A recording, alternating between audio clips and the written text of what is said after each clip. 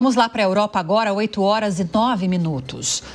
O exército da China realizou manobras militares de advertência ao redor da ilha de Taiwan na manhã de hoje. Os exercícios contaram com aviões e navios das Forças Armadas de Pequim. O Luca Bassani tem informações a respeito desses exercícios para nós. Luca, bem-vindo. Boa tarde para você. Como o governo de Taiwan se manifestou em relação a isso? Bom dia a você, Lívia, a todos que nos acompanham nessa nova semana. Com tantas guerras no Oriente Médio e também ainda aqui na Europa, na região do leste europeu, a gente não se focou tanto nesta questão que ainda é muito tensa na região Ásia-Pacífico.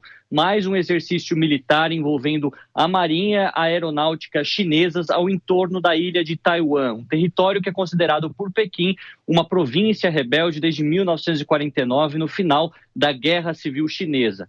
É, é, essa nova onda de vários exercícios militares é uma resposta do governo é, central de Pequim em relação àquilo que o presidente de Taiwan, Lai Ching-te, falou durante os últimos dias, mencionando que nem Pequim é submisso a Taipei e nem Taipei submisso a Pequim, e que lutará pela soberania de Taiwan cada vez mais. Nós vemos que, neste sentido, ah, os chineses da República Popular da China resolveram, então, intensificar todos esses eh, vários exercícios militares, mostrando que uma eh, a tentativa de anexar a ilha militarmente seria possível, ao mesmo tempo que Taiwan disse que não vai se render a nenhuma tentativa de acabar com a sua democracia que foi estabelecida principalmente dos anos 90 em diante. Os Estados Unidos, um dos principais aliados de Taiwan neste campo militar, disseram que estão monitorando toda essa situação em bastante detalhe e que temem que uma escalada nesta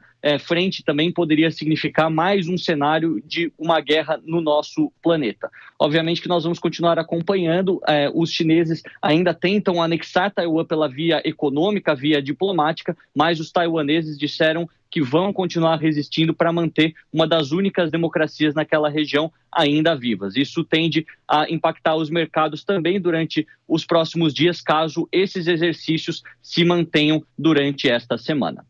Mais uma frente de tensões para nós seguirmos acompanhando, né, Luca Bassani, com a sua ajuda. Obrigada, viu? Até já.